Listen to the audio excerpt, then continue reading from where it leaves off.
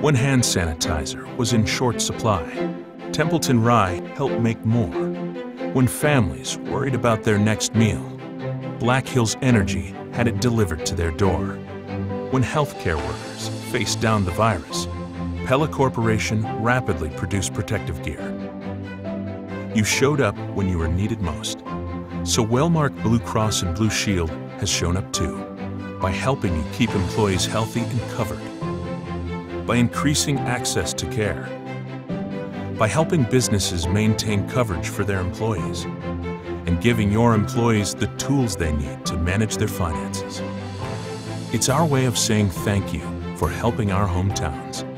And thank you for choosing Wellmark to help take care of your employees and your business.